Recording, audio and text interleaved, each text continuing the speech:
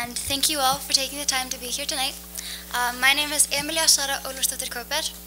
And my name is Liam Fine, and we are the presidents of the Amherst Political Union. We would also like to thank the uh, Professor Monica Ringer and the Asian Languages and Civilizations Department, as well as the History Departments, for making this possible. Um, tonight we welcome award-winning journalist, feminist, and political activist Mona Eltahawy. For over two decades, she has written for a variety of newspapers and magazines, including, among others, Foreign Policy, The Washington Post, The New York Times, and The Guardian.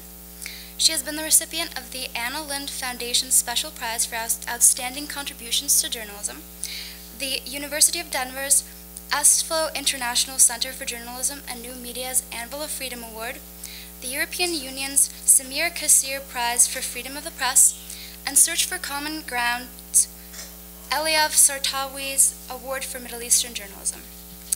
Um, not only has our speaker tonight written extensively on the Middle East, but she has also been an active participant in the uh, conflicts which, which, currently define the region, uh, particularly the Egyptian uprising of 2011, during which she was personally assaulted by riot police.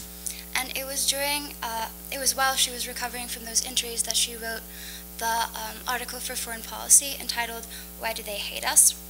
which uh, she has now expanded on and will soon publish a book, which will be entitled um, Bringing, uh, no, Headscarves and Hymens, Why the Middle East Needs a Sexual Revolution. And that, the topic of that article and that book is also what will be the subject of tonight's talk bringing the revolution home, challenging the patriarch in the presidential palace and in the bedroom. And so, if you would all please uh, join me in welcoming our speaker, Ms. Mona Eltahawy.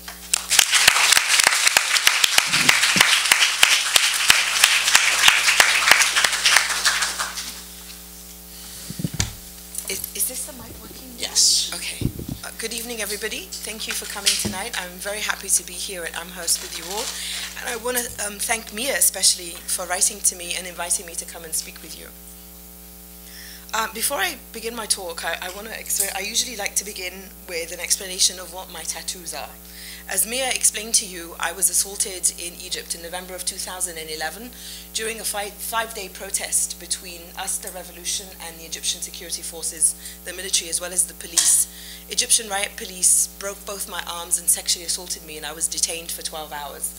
And when my arms were in a cast, I made a promise to myself that when my bones healed, I would dye my hair red, and it's, I'm glad to be in the red room. So I would dye my hair red because uh, red for me is a fierce color and uh, you can't miss it. And um, it's, a, it's also a color that says that I'm alive and I'm here and um, you haven't killed me, basically.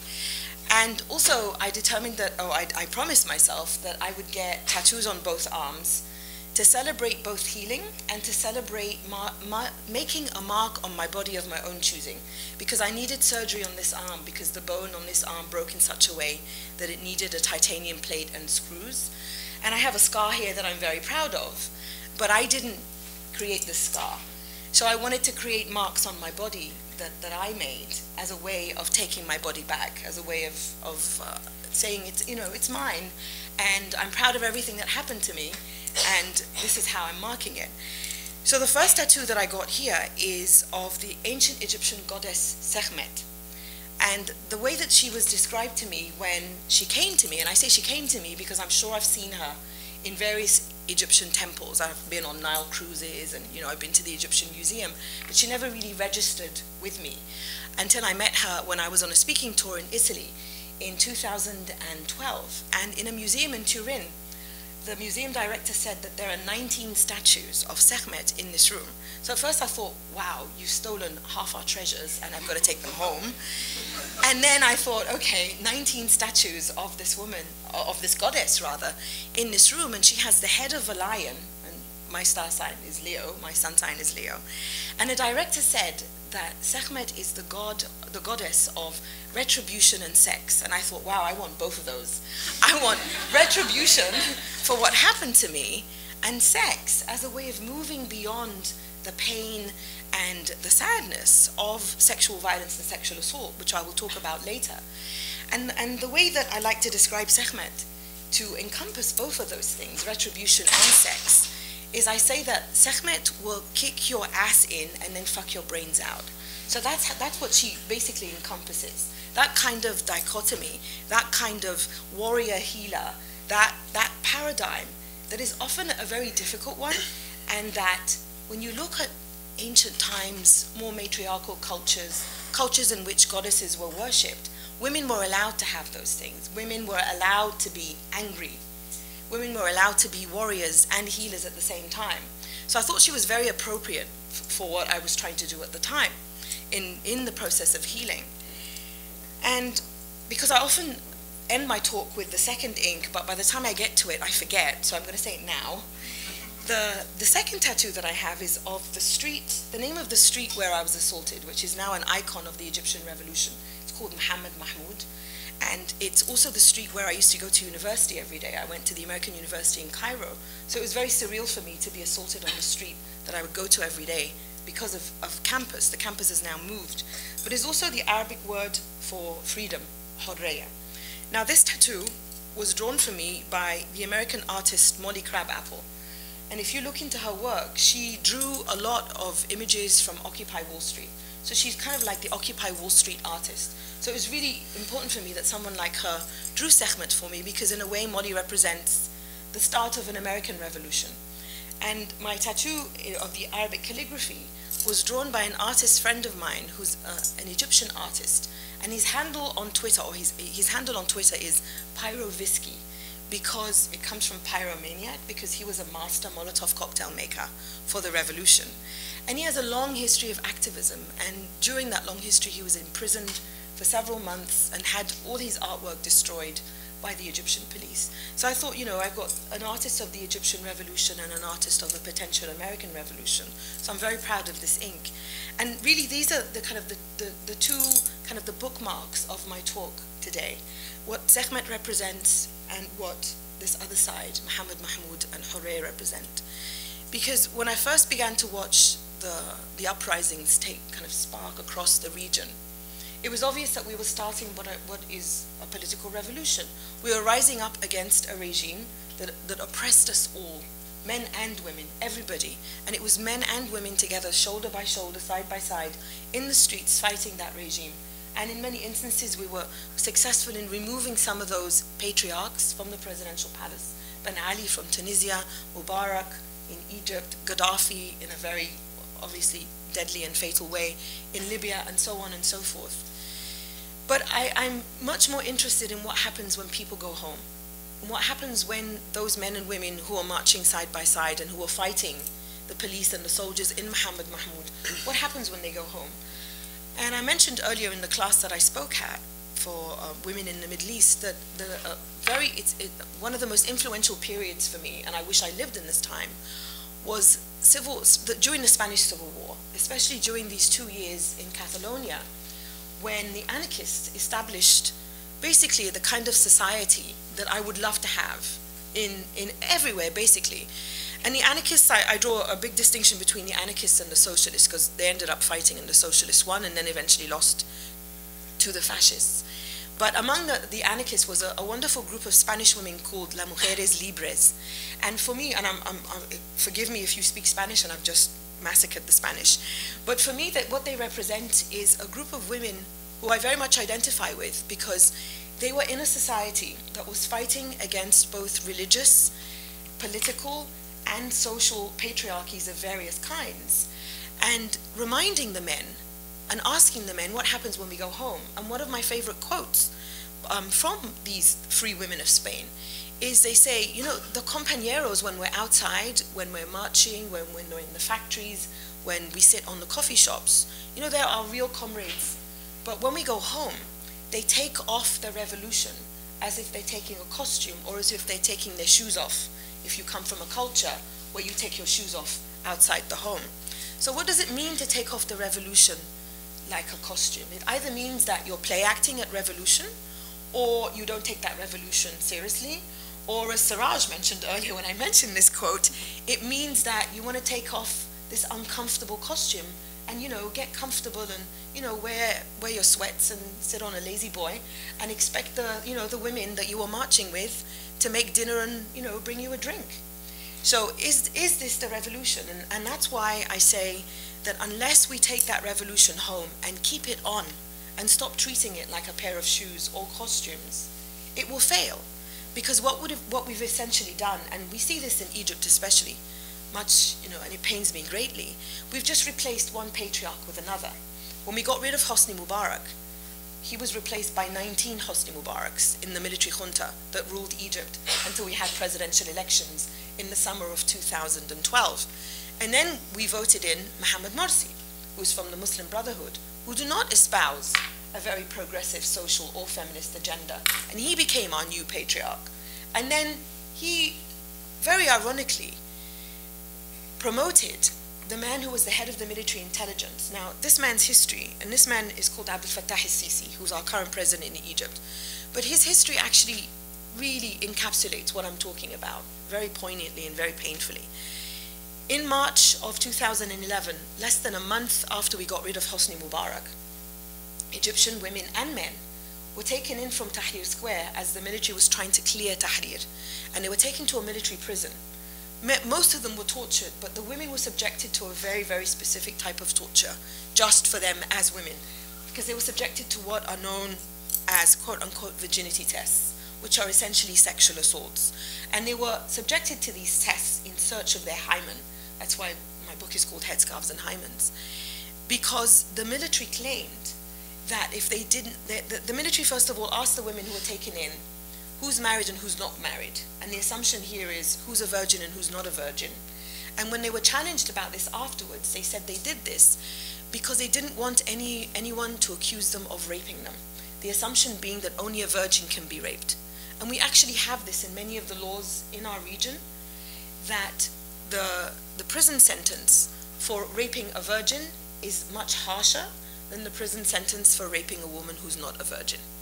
So we're privileging the hymen here. We're privileging a certain kind of commodification of a woman's body, ownership of a woman's body, and the military went in search of this hymen using these virginity tests with the green light and the permission of the head of the military intelligence at the time, a man called Abdel Fattah al-Sisi, who is now a president. He was promoted by Mohammed Morsi to defense minister, and a year later, he overthrew Mohammed Morsi. So the patriarch Mohammed Morsi was overthrown by the patriarch Abdel Fattah al-Sisi. So as I said, we keep replacing patriarchs, one with the other, one with the other. All of them with a very patriarchal, misogynistic view of women and our bodies. And one of the biggest fights that we've been having, as these so-called virginity tests clearly showed, but in, on a, in a more public setting, is who owns public space and whose bodies are safe enough to move around in public space. And again, unless we answer this question, is the revolution going to be taken off like a costume? Or are we going to keep it on at home? That public space is always going to belong to men. That public space is always going to belong to the patriarch, and that public space is always going to be incredibly dangerous for us. And so many women, including myself, will constantly pay a very physical toll for wanting to claim our space in that public space. For the revolution to go home, it must go home and challenge the patriarch, who is our father, who's our brother, who's our husband, and in many instances, who's our son. Because when I think of a country like Saudi Arabia, where I spent my teen years, women have to get the permission of a male guardian to basically do the most basic of things. Clearly, the patriarch is at work here. This is a conspiracy. They're trying to sabotage my talk, but I shall continue. In Saudi Arabia, however, a son is often that guardian who is, whose permission is needed for a woman to travel abroad, for a woman to go to university, for a woman to even have surgery. A woman needs the signature of a male guardian father, brother, husband, or son. So, what does it mean to take that revolution home and to make that revolution social and sexual? To answer that, I went, I visited Jordan and Tunisia and interviewed activists in Egypt, and li including Libyan activists in Egypt, for a documentary, a radio documentary that I made for the BBC, BBC World Service earlier this year. And I've included some of the findings from that documentary in my book, but the documentary is available as a two-part series online if, if you have 20, 40 minutes and you would like to hear me talk about this on the radio. But I'm going to summarize my opinions for you, uh, or what I found basically for you, because I think each country answers in its own way what it will mean for the revolution to go from overthrowing the patriarch in the presidential palace to overthrowing and challenging the patriarch at home, be it in the bedroom, the dining room, the kitchen, wherever you want. Because each one of those countries lies on this spectrum of misogyny and patriarchy. And it, and it brings across the, the, the difficulties, sometimes the similarities. Obviously, not all countries in the region are the same. We're not monolithic. Each one, each of these countries has its own challenges, but a lot of those countries have, have a lot in common, especially when it comes to things like family law and the kind of legislation that is in effect when it comes to things like sexual violence and divorce and marriage, and again, that falls under family law. So I'll start with Jordan. And one of the main challenges for Jordan is that Jordan is a, monarch- a monarchy. And the monarchies in the region have reacted quite differently to the uprisings and the revolutions, because the uprisings and the revolutions that have happened so far have happened in republics. And the way that the various monarchies in the region have reacted to the revolutions and uprisings is basically to create a small space as a kind of safety valve to allow their citizens room to breathe. And in the case of the more wealthier countries spending a lot of money on people, like in Saudi Arabia, for example. The Saudi king had just returned to Saudi Arabia after the various uprisings had begun, and he gave a lot of money to people. And he gave a lot of money to build mosques and a lot of money to the clerics, the support of, of whom the Saudi regime is very dependent upon. So Jordan was one of those monarchies where in order to tell people, okay, look, you know, we, we hear you, we hear that there's a certain level of, of discontent, the, the government, the cabinet was um, disbanded, was a new cabinet was put in place, and uh, parliamentary elections were held in which women had a quota of, I believe, between 12 to 14 percent, which was the highest number of seats reserved for women in the Jordanian parliament.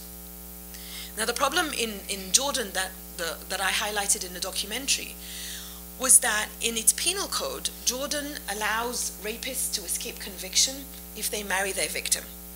Now, this is obviously horrific. This is actually something that was introduced into many of the penal codes in various countries in the region during peri- periods of colonization. So, for example, in Morocco, it was introduced during French colonization. In Jordan, I'm not really sure the exact kind of trace of it, but I bring this up, and I will talk about this in a bit.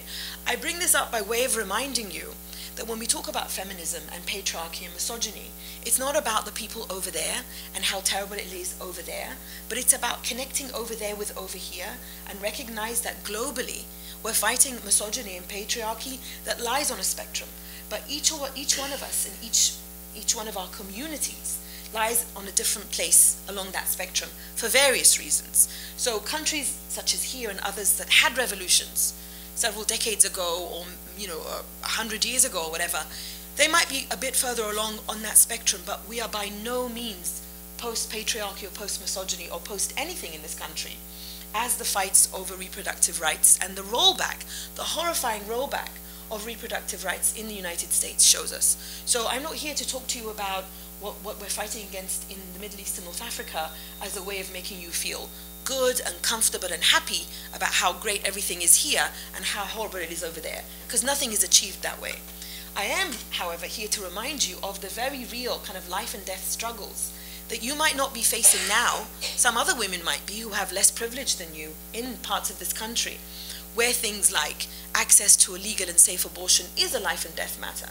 So always think of these issues as lying on that spectrum, and as when we fight against those issues, regardless of where we stand on that spectrum, we strengthen each other because I like to think of feminism as a global thing, not as something that we just kind of marginalize and, and, and put in pockets according to where we happen to be, where we are. So back to Jordan.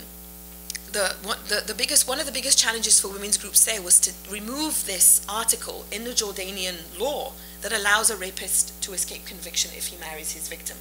Now, this had happened in Morocco just the year before because two young women committed suicide when they were forced to marry their rapists. And this led to protests in Morocco, and it led to Morocco repealing that, part, that article in its law. But, it, but from what I hear from various Moroccan activists, it hasn't completely disappeared. That kind of on the ground, kind of grassroots uh, upheaval is going to take a while. The legislation is important and it's a start, but when you go into rural areas where things like family honor and the shame of rape and wanting to hide the fact that your daughter was raped, it continues. But at least we have legislation now that we can use to help those that we, we get to hear about. In Jordan, it hasn't been removed yet. And one of the things that adding this quota for women in, in parliament did was it allowed many more women into uh, the seat of a legislator. And I met one of those women who's leading the campaign to remove this article from the Jordanian law. And she told me, obviously, because we have more women in, Jordan, in the Jordanian parliament now, they're more sympathetic to the removal of this law. We then went to interview the man who's head of the, the legislation committee. And being a man, he was quite blasé about this. He said, well, you know, I don't think this is very urgent right now. Um, you know, the laws are brought up, laws come about when a society wants to change things, and we have to take into account the fact that this is a huge shame on the families, and we're trying to help the families. And it was always the family's well being put ahead of the well being of the survivor of rape. And in order to get to that, the well being of the, the survivor of rape, we went to interview activists who actually work with these women who've survived rape. And through them, we managed to interview a 17 year old woman who was pressured into marrying her rapist. She didn't want to, but her family and his family pressured her into doing it. And you can imagine, obviously, the trauma of marrying the man who sexually violated you. And she had a terrible marriage. He was very physically abusive when they got married. And she very soon left him. And her mother told us for the, the, the documentary, I really regret forcing my daughter to do this and we have to do something about our societies in which we basically sacrifice our daughters for, you know, to make our families look good for the sake of, you know, we don't want to lose face or, or lose honor in front of everybody because at the end of the day, her daughter's well-being was what she ended up sacrificing. So the activists on the ground, they're working against that legislation, are heroes to me because they recognize what they're up against. They're up against patriarchs outside and inside and they're trying to take that revolution home. And I asked one of them, uh, uh, an attorney and a feminist called Eva Abu Halawi. And I said to her, you know, Eva, they often say that the revolution, uh, you know, it's not the time now to talk about feminism. It's not the time now to talk about women's issues. What do you think of that? And she said, well, if we keep talking about that, it's just going to stay on that, stay on that political level. And it's meaningless. It means nothing for the girls and women that I try to help if all we tell them is, you know, fight the regime outside when at home nothing has changed. Because you can be on the streets outside risking your life, but you go home and, and, and your life is, is sometimes risked double and triple in that place that is supposed to be a place of refuge and safety for you. So that was Jordan. And when, when we went to Tunisia, the concern there was very different. The concern there was who's going to have the most say about the constitution in a country that had been considered the most progressive when it came to women's rights in the region. So when Tunisians got rid of Ben Ali, they were very worried that a constitution that had been put into place in the 1950s and that banned polygamy and actually gave Tunisian women the right to a legal abortion before France gave women the right to a legal abortion. So basically, Tunisia, which is a former colony of France, gave Tunisian women reproductive rights before France did.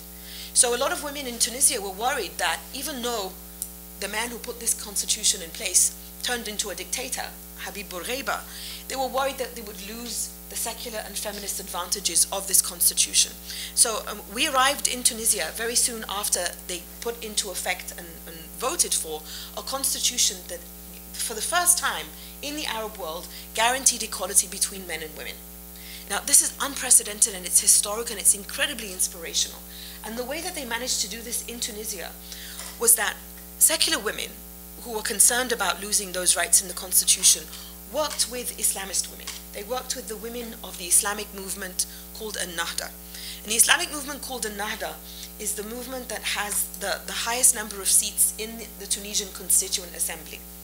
Not all of the women in An-Nahda are feminist, and not all of them worked on getting this language into the constitution, but enough of them were working alongside secular women out of the recognition that if they lose those rights that they had in the Tunisian constitution, all of them will be affected. It doesn't matter anymore that you're secular or Islamist. What matters is you're a woman who wants to maintain this very progressive attitude that your constitution had. And I'm going to I'm going to talk to you about two women who I believe have definitely taken the constitution home. I mean, have taken definitely taken the revolution home. One of them is a young Tunisian woman called Amira Yahyaoui. And I met her in a conference in London where we, we spoke on a panel about women in the revolution. She lived in exile for a while when Ben Ali was still in power, but then went back to, uh, to Tunisia after he was overthrown. And she launched the first non-governmental organization of its kind called Al-Bawsala, which means the compass in Arabic. And it's the first group that basically acts as a watchdog, mostly at, you know, overlooking and overseeing what the, the Constituent Assembly was doing. So if the Constituent Assembly was discussing some very problematic language, especially when it came to women, and the men were really digging in their heels, Amira and her co-workers would threaten to take their pictures and put them along the main avenues of the capital Tunis and right underneath these are the men who don't want women to have equal rights. So basically naming and shaming. And once, when she was in, um, during the early days of the Constituent Assembly, one of the members was a Salafist, and the Salafists are to the right wing of uh, Nahda. If you think of political Islam as again not being monolithic, but some being much more right wing than others, the Salafists are much more right wing and much more conservative than the Nahda. So Amira was asking a question to this Salafist member of the Constituent Assembly, and Amira addresses like I do, and he said to her, he kept ignoring her. So she said to him, Why are you ignoring me? And he said to her, I don't speak to naked women. And she said to him, But I'm not naked. And he said to her, No, you're naked. You're not veiled and you're not dressed as a, a good, modest Muslim woman should. So she said to him, Oh, you think I'm naked, do you? I'll show you naked. And she began to take her clothes off. She began to unbutton her coat. She began to unbutton her blouse. And this man was horrified. He was like, What are you doing? She said to him, I want you to understand what a naked woman looks like, because clearly you don't know. so he said, Okay, stop, stop. And, and he took her question. And by way of showing just, you know, this kind of weird and, and kind of very kind of heartwarming camaraderie that had built between them, because Amira would go every day. When finally the constitution was passed and they all voted for it, and it was, it was a very moving moment, Amira told me that they were all standing crying, and she went to look for him, and he hugged her. So here's this man who was telling her, I don't speak to naked women. And she threatened to strip. And he hugged her because they were so happy and proud of this great constitution that they had worked on. Now, the other woman that, that I find very inspirational in Tunisia as well was somebody who personally surprised me because I'm not an Islamist and I, and I oppose the inclusion of religion in politics. I, I, am not a fan or supporter of the Muslim Brotherhood. I obviously, I condemn wholeheartedly the violence and the massacre that the Egyptian regime enacted upon them last year when they cleared Rabaa and Nahda Square. And I, I wholeheartedly condemn the, the imprisonment of them. All these political, most of the political detainees in Egypt right now are from, from the Muslim Brotherhood solely on the basis of their political and religious ideology. Having said that, I am not a fan of political Islam, and I'm not a fan of including religion in politics. But I, I, interviewed this woman that really challenged this for me, because she was a woman called Fatoum was her name? Fatum, I forget her family name. I'm sorry. I just I didn't sleep very much last night, and I missed the train, and I'm jet lagged. So forgive me for acting like a, having a senior moment, as I often say. If there are any seniors here, I don't mean any offense. But um, so Fatum, her history was was very typical of women who belonged to the Islamic movement in Tunisia. In that she was at university at a time when the headscarf was banned, and she wanted to wear a headscarf, so she would wear a beret she met and fell in love with a fellow law school uh, student, and they got um, they got married and had children. And when the revolution happened and they got rid of Ben Ali, he encouraged her to run for the Constituent Assembly. And he said to her, I want you to be a member of this Constituent Assembly that writes our new constitution, because when you make it better for women, it will be better for everyone. And she came to our interview with her two children and her husband, and her husband basically came to babysit the children. So here is a man from an Islamic movement who came to babysit the children while his wife is being interviewed by the BBC World Service about how she helped to create the first constitution in the Arab world that makes men and women equal. And it was really beautiful to see. And her daughter, who's seven, was sitting there watching us and filming and taping the interview with an iPhone.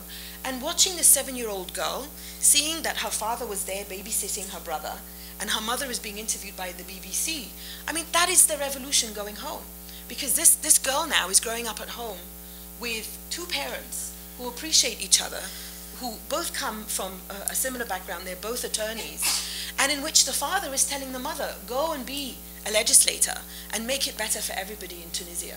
So that's, that's why we need the revolution to go home. That's why we need the revolution to, to, to cross that social and sexual threshold so that we, we can begin to nurture families like Fatoum's family in Tunisia. Now, this constitution in Tunisia has by no means ended all the problems that Tunisia has because what the next challenge is implementing language that sounds wonderful on paper, but what is it going to be like on the ground? Because as I said with Morocco, you've changed the law now, to be more women friendly and less misogynist, but what is, what's it going to be like in application? So I hope to go back to Tunisia soon to talk to, to interview the women that, that I interviewed for the, for the documentary and see how far they're coming along. And they've got uh, presidential elections coming up soon. And I'm glad to see that Ennahda, unlike the Muslim Brotherhood, the Muslim Brotherhood had promised they would not contest the presidency in Egypt, and, and obviously they did. And Ennahda has said that they will not, and that they will stick to uh, the part, what, what, what they consider their parliament and future parliamentary elections. Now, if I take the, what we found and move eastward to Libya now, the main challenge for Libyan women, and it, this came through from the activists that we interviewed, is being caught between the, the, the, the crossfire of, of many types of violence. Women everywhere obviously have to contend with sexual violence on the street from anybody.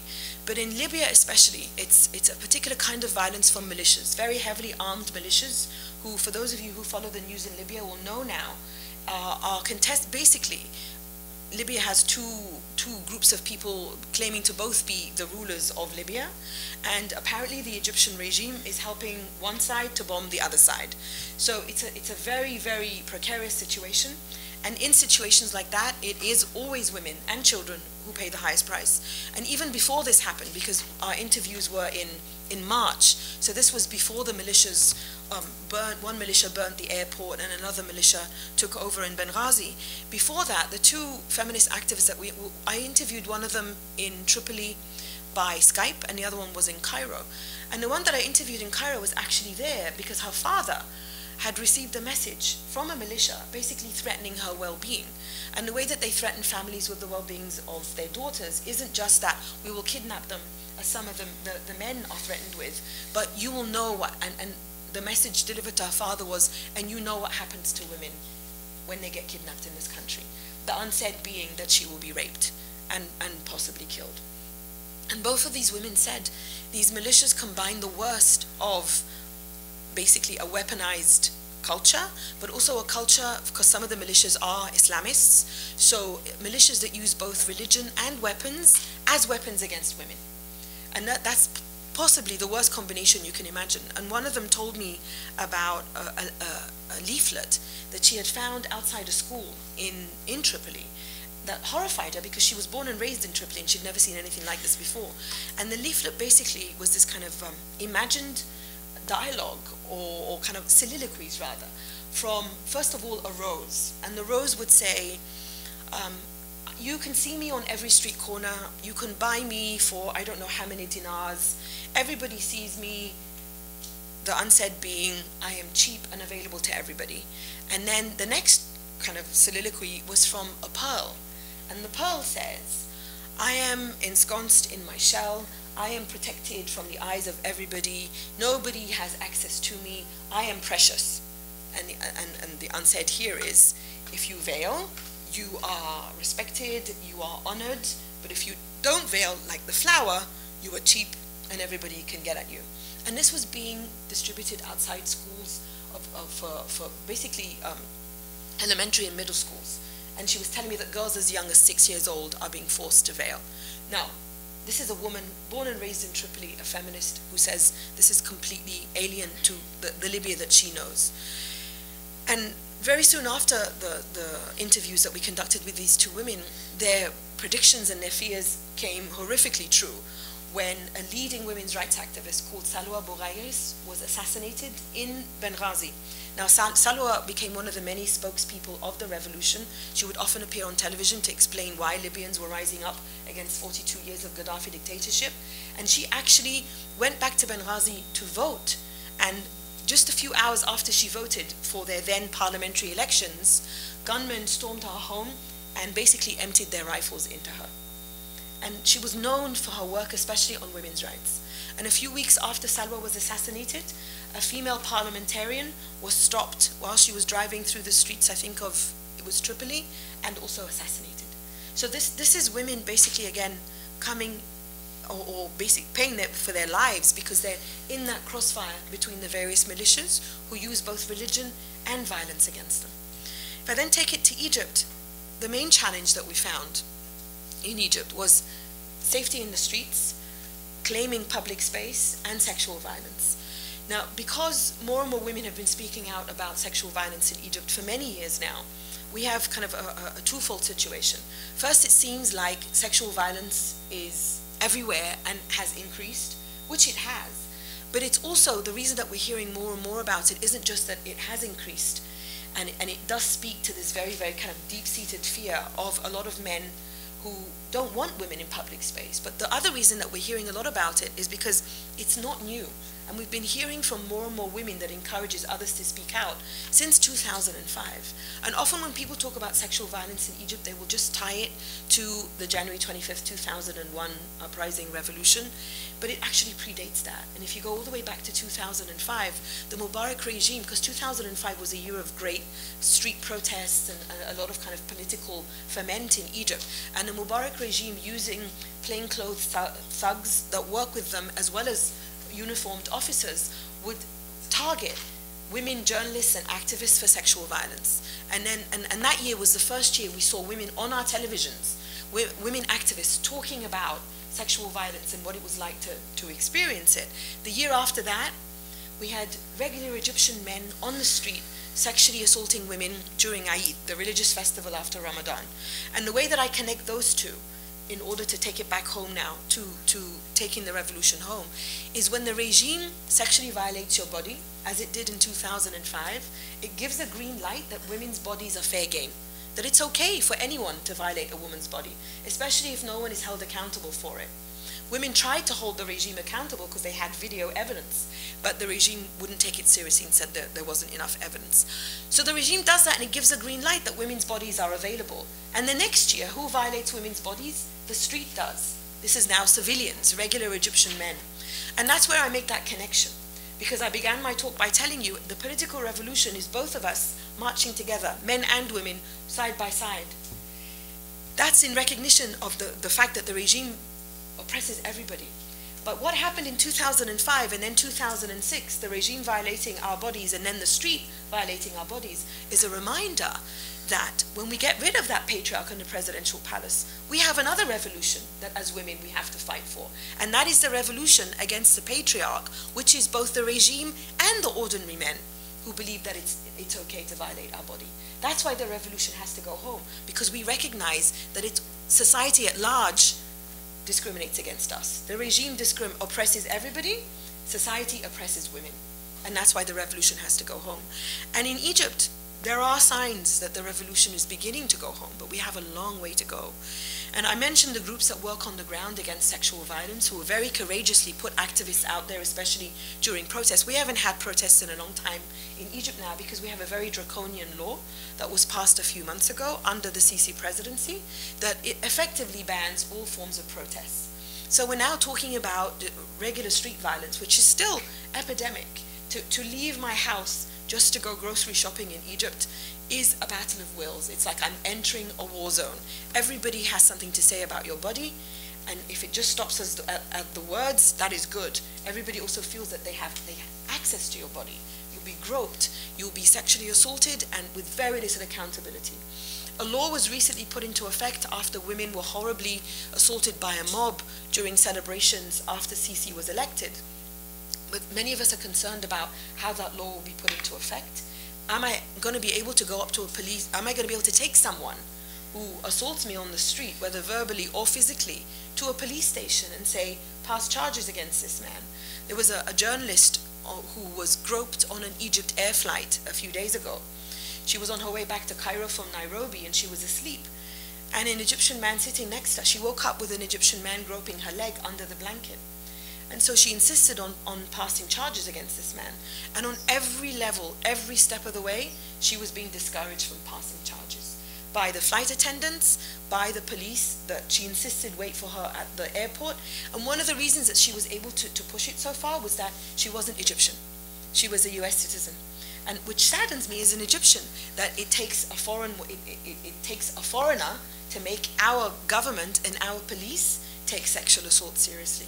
But this man, the way that this man tried to handle it, he basically pleaded with her to drop the charges because he faces several months in, in jail, possibly, I think, up to three years. Because he said to her, Please think of my family and my children.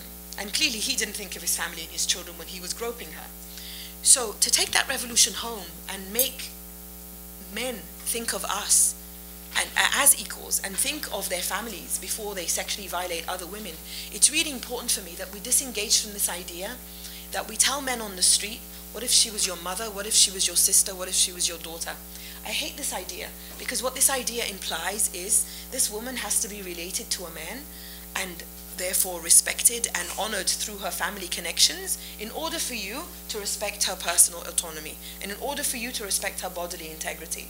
So what I would like to do by way of taking the revolution home is to start asking people, is he your father? Is he your brother? Is he your son who's committing this sexual violence? Because when you do that, you put the onus on the men. Because we have so much victim blaming globally, obviously, when it comes to sexual assault. It's time to start putting the focus on the men who, who perpetrate the sexual assault, not the women.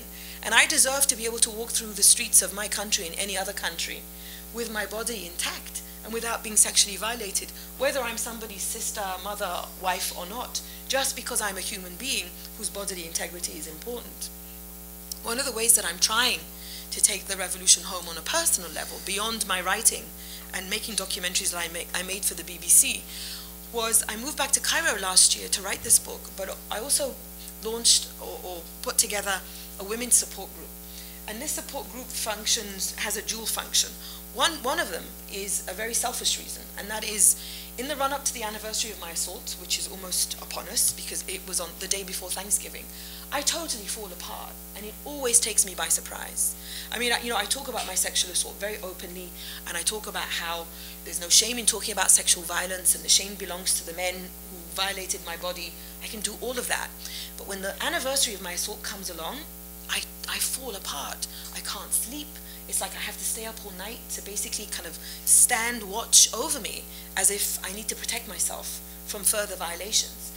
And I know because a, woman, a women's rights group that tried to raise my case and, uh, and sue the Egyptian Interior Ministry for me, that 12 other women were sexually assaulted in a very similar way to, to, to the way I was in Mohammed Mahmoud Street. But we don't know any of them, and none of them has spoken not because they're voiceless, because this idea that people are voiceless and we give a voice to the voiceless, that's a ridiculous notion.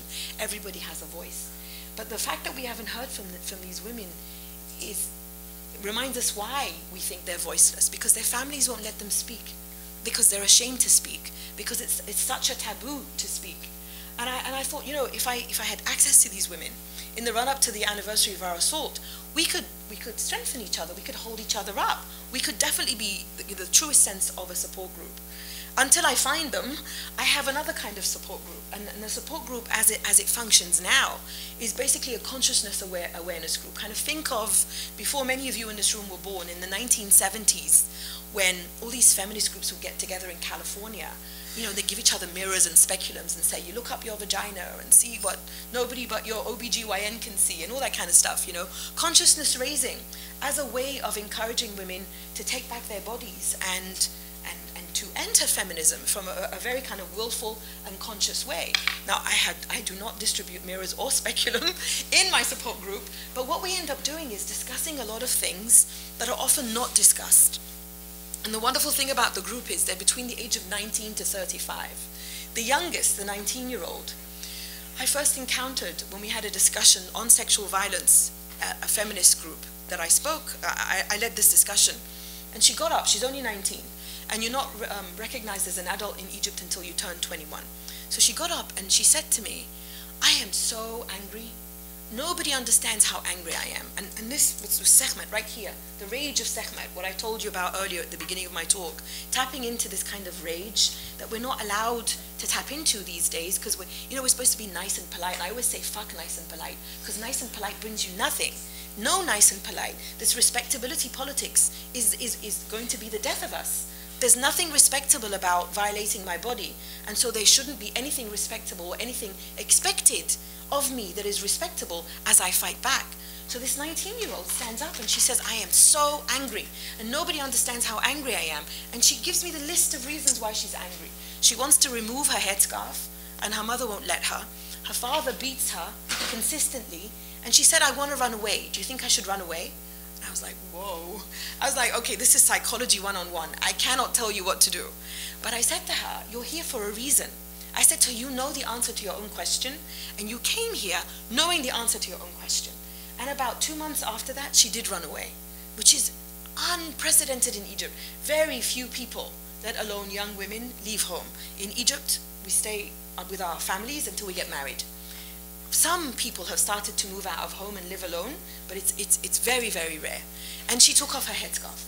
I've heard recently, though, that because she's not of age, her family has taken her back home. But this woman, when, when we were making the documentary, was sitting next to the oldest woman in the group, who's 35 years old. And the 35 year old, when I asked her, What has the revolution, how has the revolution affected you? And have you taken the revolution home?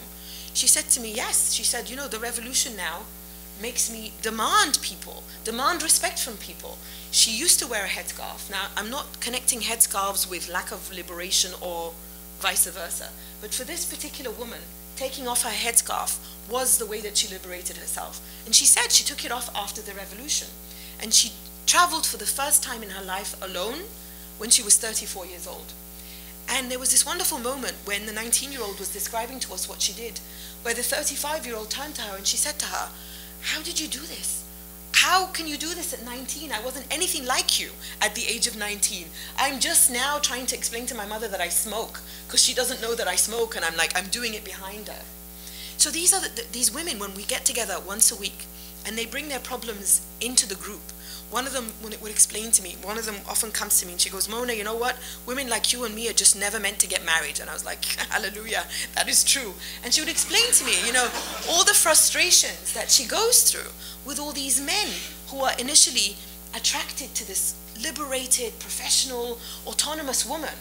And then two months into it he wants her to stop going out with her guy friends. He wants her to start wearing a headscarf he wants us to stop posting pictures of her in mixed groups on Facebook. And she's like, what is he trying to do? And I'll say to her, you know, I think he's internalized the patriarchy of our culture and he's confused because he's attracted to an independent woman, but our culture tells him, you have to be in charge. So at the end of the day, when we take that revolution home, not only are we saving our bodies from various forms of violations, but we're saving our men as well because we're saving our men from ultimately this, this deep seated schizophrenia that tells them you have to treat women in this way. And that way is often at deep conflict with the kind of women that they're attracted to.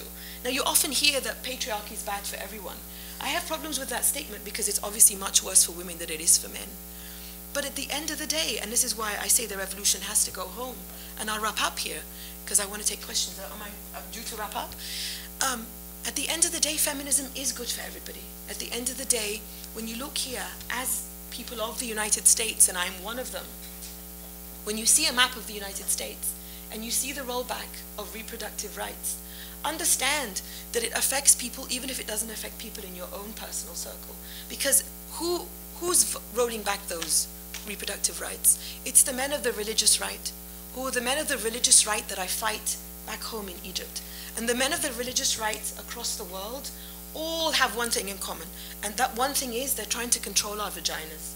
And I always tell them wherever I go, stay out of my vagina unless I want you in there.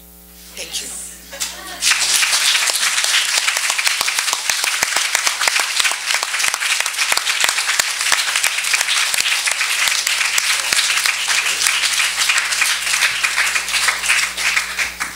Uh, so now we'll take a few questions. Tommy will be running around with a wireless mic. Um, if you could please just raise your hand if you have a question, and he will be promptly over.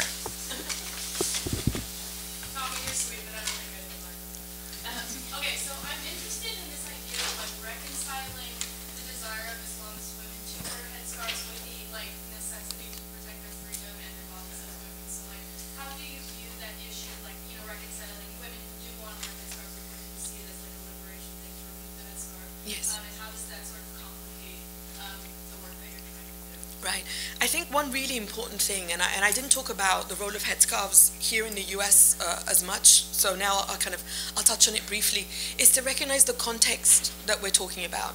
Because when I when I talk about the context in Egypt, especially, I look around and I see that the majority of women, Muslim women, are in headscarves. So we're beyond this notion of choice now, because I, you know, a lot of a lot of times this notion of choice is held up, and we fetishize it, and like you know, as long as a woman has chosen to do something, it, you cannot critique it or or criticize it or or disagree with it. And I, I've gotten to the stage of my feminism where I don't necessarily agree with everything a woman does, and I don't think that any every choice a woman exercises is necessarily a feminist choice. So when I look at the, the headscarf in the Egyptian context, I believe we're beyond choice. And I believe if we're really honest as well, one of the one of the reasons that sexual violence in Egypt has been on the increase is that the more women veil, the more we're sending a message to men that we are we're going to it's not that we're being policed, but we're policing ourselves for them. Because it's this idea that it's actually a, a, very, very insulting idea to men that they can't control themselves and women have to be. That's not the only reason that women veil, but I've heard from many women that the reason that they started veiling is because they want to be safe when they walk through the streets.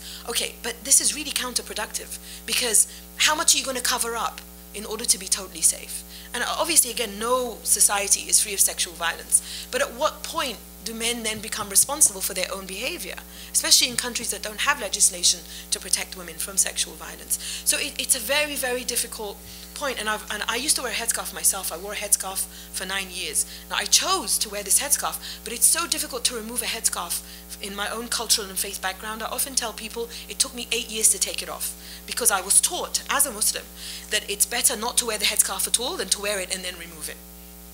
So having said that, and, and seeing the context in which the majority of women wear it, it's, it's a very, very comp complex and difficult scenario where now more and more women are saying, okay, as part of the revolution, my own personal freedom is to take it off. And I'm seeing it happen more and more. I'm meeting more and more, especially young women who are taking it off. When I take the context of the headscarf to here, to the United States, it's um, for many women that I meet, it's less of a religious thing than a, an identity politics thing. My sister, for example, wears a headscarf. She's doing a PhD at Northwestern. And she began wearing the headscarf as a religious thing, but she no longer believes it's a religious thing. But she keeps the headscarf because she wants people to recognize her as a Muslim. So in, in that context, it's not about protecting her body from sexual violence. It's much more the identity politics of it. And I'm hoping that, again, if, if we exercise this idea of global feminism where everybody fights for a greater space of feminism in their own kind of cultural context, here I'm hoping the more we see Muslim American women veil for non-religious reasons, we will begin to divorce the veil from a religious thing.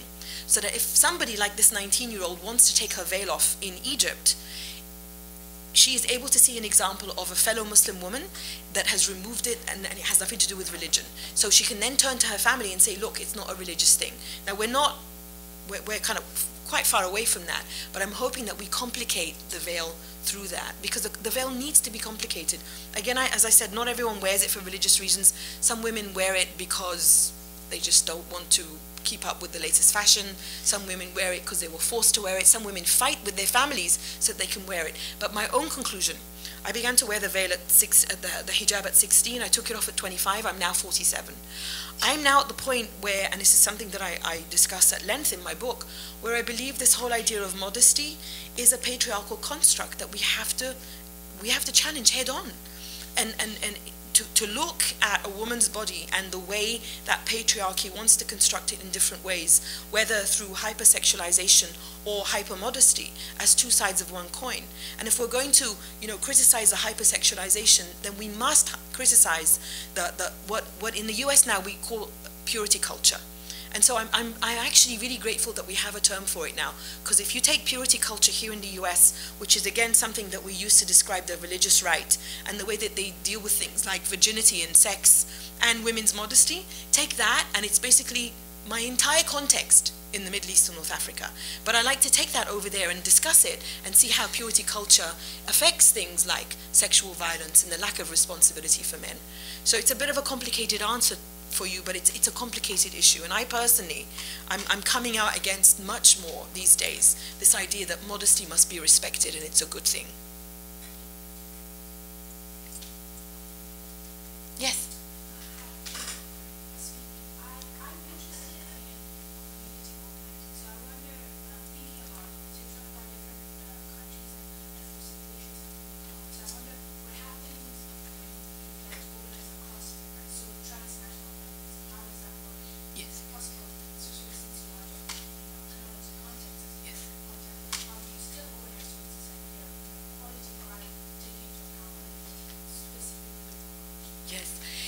It has a very problematic history, mostly because of during second wave feminism that was that is often described as a very kind of white kind of feminism, where you had a lot of white feminists who who, who seemed to own feminism, and you had um, uh, sometimes you'd have a cultural relativism that was often kind of twinned with that, which honestly didn't help anyone. But it was this idea that you had to respect all cultures and you had to respect anything that was done by women and for women, which you know women of those various cultures would often say, no, this is not something that we want to be respected. And it was a huge fight among uh, feminists of color and white women.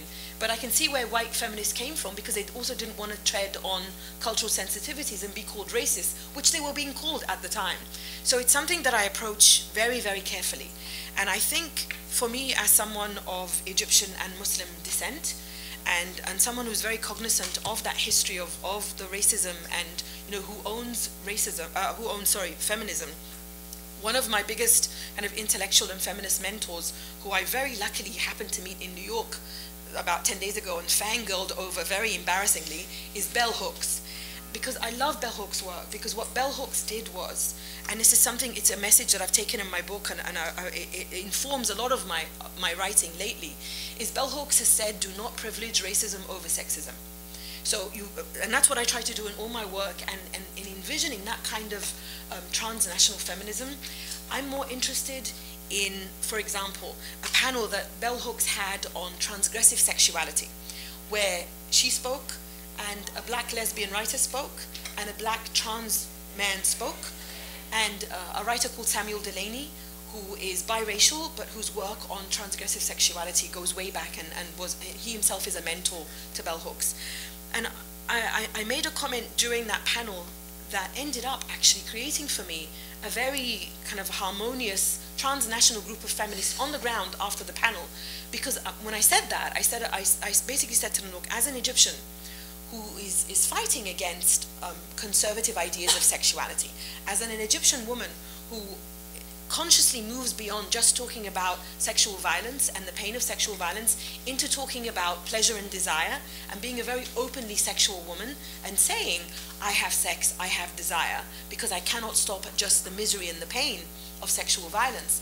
It meant a lot to me to see people of color and black writers on this panel talk about this because I can take that context where, you know, they, they had a woman, a West Indian Catholic woman stand up and say, look, just being here at your panel is, is transgressive. Because if my family finds out I'm at a transgressive sexuality panel, it's so taboo.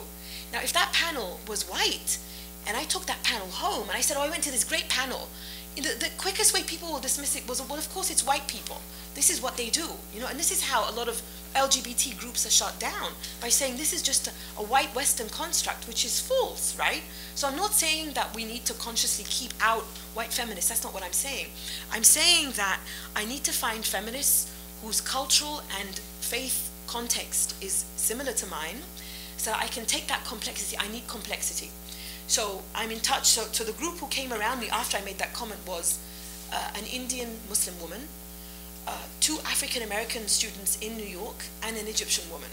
And immediately, our context was very clear to, to, to ourselves. You know, we come from conservative backgrounds. If our parents, if our respective parents knew we were at a transgressive sexuality um, panel, all hell would break loose. But it's something that we want to organize around. So I, am saying that by way of, of, of trying to touch on that complexity trying to talk to Indian feminists about how do you raise this issue of gang rape in Indian societies. South African feminists that I know who went through their own revolution to overthrow apartheid only to watch the men push them aside as some men are trying to do to us in the Middle East and North Africa, and having these South African women tell me, watch what the men will do because they will ally with each other even if they have political differences just to push you out of the scenario. So I need women who have that complexity. And then when I'm asked abroad, what can I do to help you? I say, do nothing to help me. Help your own community because when you help your own community, I can look at you from over there and say, look, these women are fighting against the Todd Akins who believe that if you're legitimately raped, your body shuts down which is sheer and utter shit, obviously. It's not even scientific to begin with. But when I call, when women here call out this religious political nonsense, I can call out religious political nonsense in Egypt as a form of, you know, allegiance to them and say, look, I have an ally over there. But the last thing we need is any kind of white savior narrative, which is one of the main reasons that a lot of our communities reject feminism, because they think it's one of the ways that the Western imperialism basically creates a, a foothold. So do you know what I mean? We, we, need to make these kind of complex alliances in which we recognize that it, we have multiple identities that must be recognized.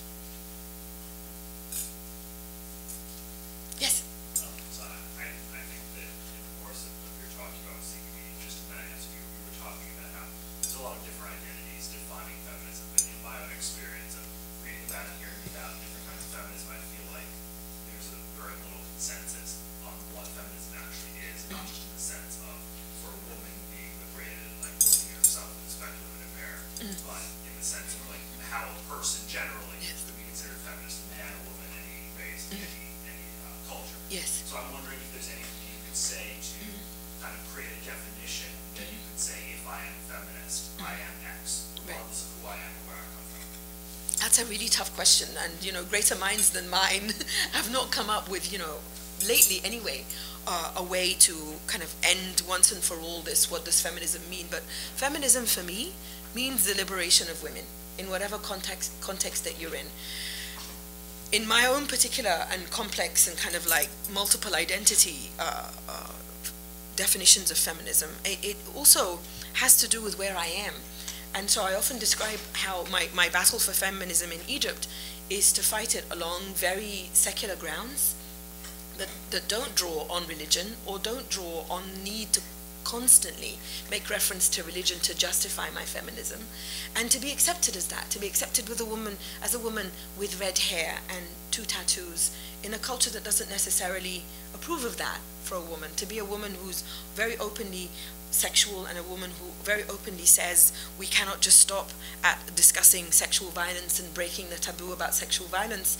We must continue all the way to talk about sex and desire and pleasure. And then finding examples of my own heritage from Arab erotica from the 10th century, for example, that is conveniently being forgotten. But when I come here to the US, my, my feminism doesn't change, but the context in which I'm operating changes. And so I find that here in the US, my feminism is married with that fight against racism that Bell Hooks talks about in a way that it isn't necessarily so in Egypt. So here, in, for example, I don't go, I don't wear, wear a headscarf because I want people to recognize me as a Muslim. I actually want people to recognize this as a Muslim. I want people to recognize that a woman with red hair and tattoos can be a Muslim even though it's a fight back in Egypt. I want it to be recognized as such. And I will fight the religious right wing as in the same way that I fight the religious right wing in, in Egypt. Because if I'm not going to privilege racism over sexism, what I end up doing is, and this I do very consciously because it's absolutely necessary to my work, is I place myself in the middle between two right wings an internal right wing, my own Muslim right wing, which is very misogynist and will use the fact that the external right wing is Islamophobic and anti Arab in my own context to shut down my feminism. So they will say, stop talking about feminism and what happens in our own cultural context because you're making us look bad. Stop talking about sexual violence because you're just adding to the to the um, anti-Arab discrimination and men are going to think people are going to think that all Arab men are barbaric and savage that's not my place, you know. You, you want people to stop thinking of sexual violence and associating with you, you go fight it. But that's my internal right wing. So I fight them at the same time that I fight the external right wing, which is Islamophobic and racist. And I fight them through things like I got arrested two years ago for spray painting over a racist and bigoted ad in the New York subway that was put up by a racist right wing hate group. And I fought it as an Egyptian and as a Muslim and as a feminist. And the wording of this ad was, in the war between the civilized man and the savage, always choose the civilized man, support Israel, defeat jihad. And I saw this ad and I was like, fuck no. there is no way I am going to be passing this ad in the New York subway and not do something about it. And the reason that I did something about it, or, or how I did something about it, also taps into very feminist and very anti-racist things that have been used in this country and, and that have made this country what it is, and that is nonviolent civil disobedience. There is a long and rich history of civil disobedience in this country, be it the civil rights movement, be it for feminism, be it in, stand, in fighting wars. So here my feminism is complicated by other factors. Because I fight the internal right wing, I fight the external right wing, neither of them is my friend. I will not take the side of either one to fight the other, because if I choose the enemy of my enemy here, I end up dying. So, so see, I'm still a feminist. I'm a feminist in Egypt, but I, I, I try to find there the things that essentially what I'm saying is I love being on the margins. Do you know Gloria Anzaldúa, the Chicana lesbian writer? She wrote a great book called Borderlands, La Frontera. It's, it's, a, it's a wonderful book that talks about these multiple levels of identity that we have. And she basically says the most creative and kind of full of ferment, fermentation area that you can be on is the border, the borderland. And for her, the border was the border between Mexico and the United States because she, she was a Chicana. But I see women like Bell Hooks and Audre Lorde and other women, women of color, black women, Chicana women, lesbian women, women of various minorities who have traditionally been marginalized, reveling in that marginal status. And, and I love to be the outsider. I love to be on that, on that edge. I love to be on that border because that border allows me to find in my context the things that hurt and I like to hurt and I provoke them and I push them. So I'm still a feminist, but I just find, according to the context where I'm at, I find the place that hurts and I push. Now, other people's definition of feminism might not be the same, but at the end of the day, it's the way that I liberate myself. It's the way that I liberate myself from, from the, the right wing that surround me on both sides. So that's my very long definition of feminism. Yes? Um, I had an experience when I was in high school in which essentially my male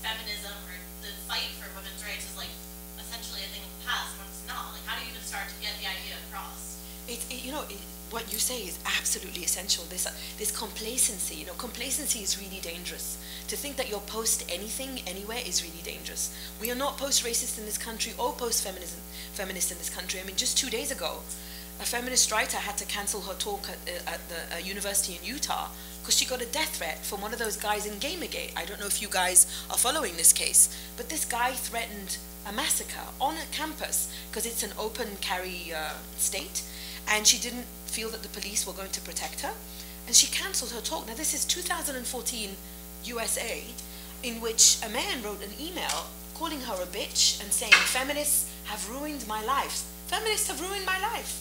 This is in the US in 2014, and threatening a massacre with weapons. So we're, we're not post anything. And I think what you touched on there is really essential. That but the people will often say, "Oh, come on, you're making a big deal of it," because when you agitate, what you do is you remind people that they're not, and it forces them to ask why. And so, I mean, in, in my context, I often say that you know, if, if I fight against misogyny of any kind, be it against these ideas of modesty or sexual violence or pleasure and sex and all of that, I'm reminding people that they're not free. And when someone reminds you that you're not free, you're going to do one of two things. You're going to go out there and try to be free, which requires a form of activism that will make you go out, and that's not easy. Or you're going to try and shut the person up. You're going to shoot the messenger because they don't want to be reminded that they're not, they're not free.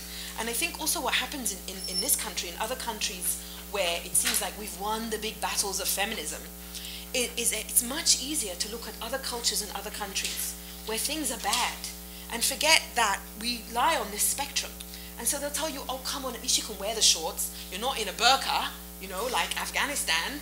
So it's, it, it's not that, it's not about that. It's not about comparing how bad it is over there to how great it is here. That's why when people ask me, how can I help you? I say, don't. Help yourself. Because a feminist had to cancel a lecture at a university in Utah or else face a massacre, because women's reproductive rights are being rolled back, because girls are being pulled out of class and shamed. This is basically, you know, body shaming and body policing in the US. So I think it, it's very important to fight complacency of any kind and, you know, keep at it. And people will always tell, when I spray painted over that ad, I was disheartened by the number of people on the left who were supposed to be my allies who said things like, your vandalism was off-putting. And I would say, excuse me, the racism and the bigotry is not off-putting, but my vandalism is off-putting. Okay. So keep at it. Yes.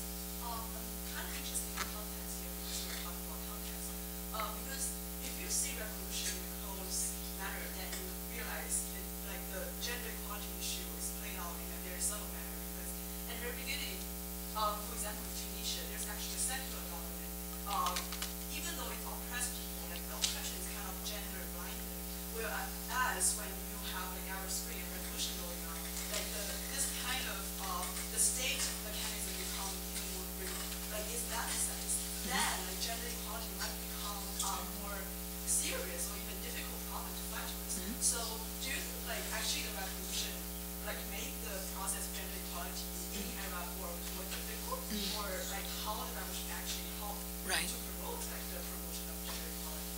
I mean, that's always the most difficult question I get. You know, have the have, have the revolutions made it worse for women?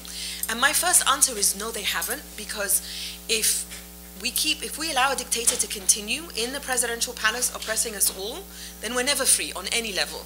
But I say all of this in the recognition that we as women have a double revolution, because like you said, the secular dictator oppresses everybody. Yes, that's why we can go out on the street and march against him. But nonetheless, in my family, in my home, despite the secular dictator, despite some very lovely language in his very progressive constitution, women were still being repressed. And uh, you know, a lot of these societies are often portrayed as very liberal and progressive, but when you scratch the surface and you look at legislation, you look at, for example, personal or family law in all of these countries, regardless of whether they're monarchies or they're uh, run by nominally secular dictators. Here's the thing about secular dictators in the Middle East and North Africa. They're ostensibly secular, right? And they've modernized a, lo a lot of the, of the legal system. But when it comes to women and children, they still refer to each of their religious backgrounds. So he's not so Mr. Secular here anymore, you know, whether he's the king or he's the, the president. So you have to recognize that we have this double revolution. I, I cannot I cannot be silent and I cannot be free as long as any kind of dictatorship is in place. But be it secular or religious, is always there's always a double revolution that as a woman I have to fight. And that's why that's one of the reasons that I, I said that I oppose political Islam, because I, I oppose the inclusion of religion in any religion, in politics, because I lived in Israel for a while. Israel is known as a Jewish state. And when I lived in West Jerusalem, and, and a, a, lot of my neighbors in West Jerusalem were ultra Orthodox Jews. And the ultra Orthodox Jews and the Salafis in Saudi Arabia and the Salafis in Tunisia, those ultra right wing conservative Muslims, are almost identical. In, in the way in their views towards women, in their views towards families, and, and all of this. And so I and this is it was one of the most eye-opening experiences for me to see how I will often have more in common with a progressive Jew or a Christian or a Hindu or a Buddhist than I will with someone who's conservative. And, and they will have in common as well. That's why I say the religious right wing here and the religious right wing there both have a lot more in common than I have with the people of my own cultural faith background. So I, I would like to leave religion out of politics generally because I, I don't know, honestly, of a religion that is woman friendly. People will sometimes tell me Wiccan, you know, the Wiccan religion. But you know, other than that, unless we're going to go back to worshipping goddesses, I don't know of any religion that is friendly to women.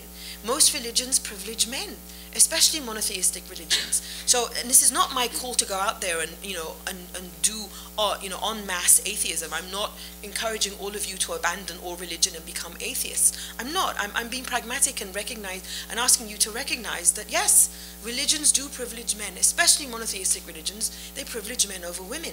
And my fight when I fight alongside Islamic feminists, I don't call myself an Islamic feminist.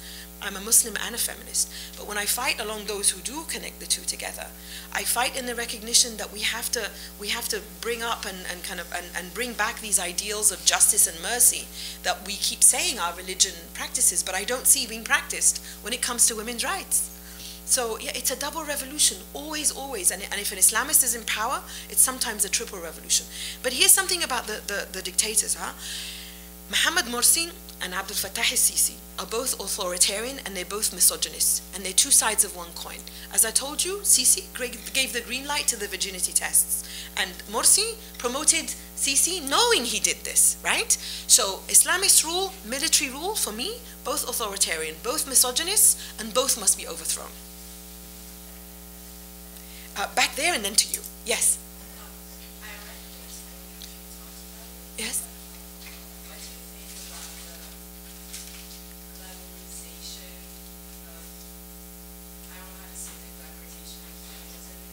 Yes.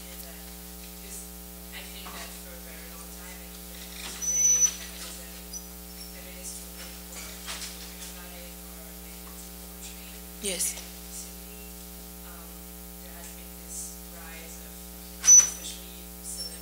Yes. Yes. Yes. saying that they're feminist, but this new age feminism that doesn't mean men, and I'm always wondering, like, the first wave feminist, feminism does not mean men. Yes. Would you approve of that? Do you think that's spreading and helping the cause, or do you think that it's a reversion of the initial fight?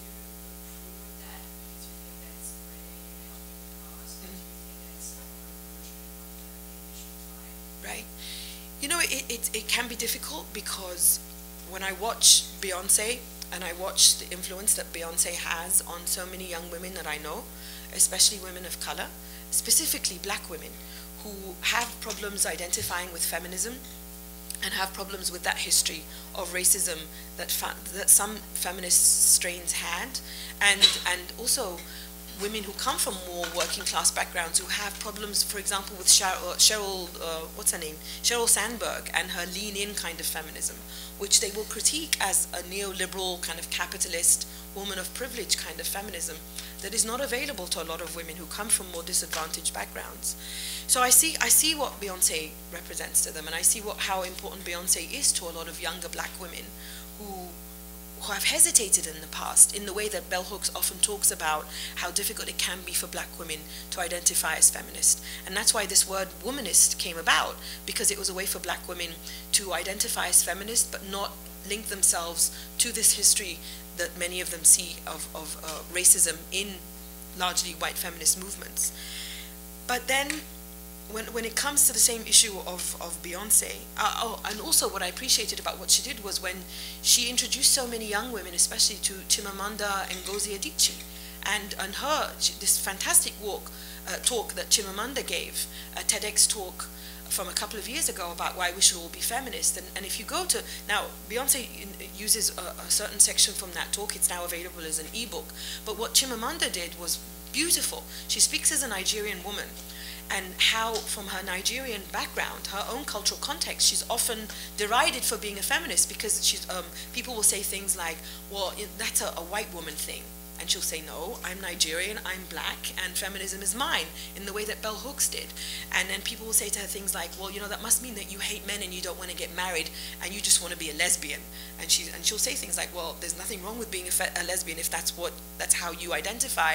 And it's not about hating men or rejecting marriage, but what it is about is um, stop let's stop raising our girls to just aspire to just marriage and compete with each other over men. Let's allow a, a, a, girl and a young woman to understand that she can grow up to become married or not become married. So i appreciate that beyonce gave a lot of young women a doorway into Chimamanda and her, and her ideas that they normally would never have seen. So it's a lovely marriage of pop culture and literature and that more global feminism that can start to make the kind of alliances that the young woman up there asked me about, where we can reach out and recognize each other's work. But my own context with Beyonce is, but, but this again, uh, within the black community, it means something different. I don't believe that your sec- the sexuality that you celebrate just has to be within a marriage. And I know that's not what Beyonce's saying, but Beyonce's celebrating it within a marriage because in the black community that's important to have a, a, successful woman who is married, who has a father who is involved in the upbringing of her daughter, and, and to, to fight against you know negative and racist stereotypes of the black absent father. So I'm fighting a different fight. I'm fighting a fight in a culture that has so privileged marriage over everything in which I am not allowed to express sexuality outside of marriage. Beyonce's fight is to celebrate being a black married woman and fight a stereotype of black single mothers and absent black fathers. So I, I appreciate what she's doing. I just, I have another fight to fight. Um, about celebrity culture generally and feminism generally, I, you know, I just, this idea of, of we hate men, I mean, it's ridiculous. I go around telling men I, I love you guys too much, if anything. There's nothing about men I hate unless, you know, they're sexist shits, then I hate them. But, you know, if they recognize what I'm doing and they're willing to be allies, I obviously don't hate them. If anything, I feel the hate from their side towards me. So I, I wish more, more and more young women would not think that they don't need feminism until a, a, kind of a painful, kind of hitting that glass ceiling moment where they recognize that we're not post-feminism. So I, to get the word out to as many people as possible, to show it and to link it to women who are tackling difficult issues in the way that Chimamanda is doing, and to subvert that stereotype, and, and to be and to celebrate her body, and to celebrate a marriage, and to celebrate a very very present black man in her life. I see why so many young black women look to Beyonce as a feminist. So I hope that does help spread it. You know what what I'm more upset about is all these young stars, you know, women stars will say, no, I'm not a feminist because I don't hate men. That's ridiculous, you know? That's not what feminism is about. Have I answered your question? Yeah, I just have an extension. So how do, how do you react, for instance, there was this, um, Twitter thread of girls being like, I don't need feminism. Oh my God. Oh my God. Yes.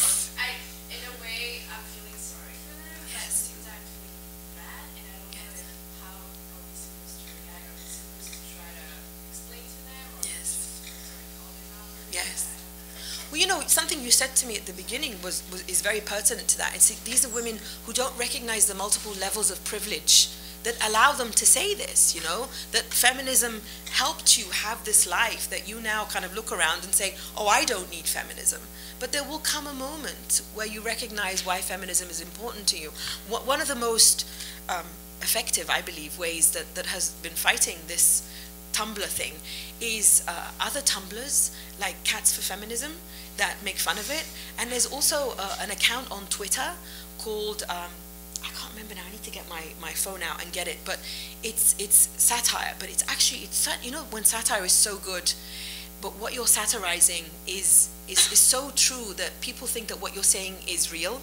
It's like when there was a there was a this this satirical newspaper that said that um, Michele Bachmann wanted to ban falafels because they were going to be a gateway sandwich to terrorism, and and it wasn't true. It wasn't true. It was a it was it was satire. But because Michele Bachmann could possibly say something like that, people believed it, and so there's this there's this account now on Twitter where this woman comes on every day and she willfully misspells feminism. So she'll go, I don't need feminism because um, I believe men are strong and they will hold the door for me because I'm so weak. And people will look at that and they'll write to me and they go, Mona, how could you retweet such misogynist shit? And I'll go, come on, it's a parody. But because of these women holding up the signs, you know, saying I don't need feminism, it hits a bit close to home, you know. So, I mean, we satirize them, but honestly, you know, at the end of the day, when it comes to any kind of fight, I always tell people focus on what you're doing rather than focusing on fighting against something negative someone is saying about you or about themselves. Focus on your feminism. Focus on the issues that are important to you because it, that's how you create the life you want for yourself. I hope those women don't reach a point where they realize why they need feminism because it will often mean something sad and dangerous is happening in their lives. But clearly, you know, it's, it's incredibly sad. So unfortunately.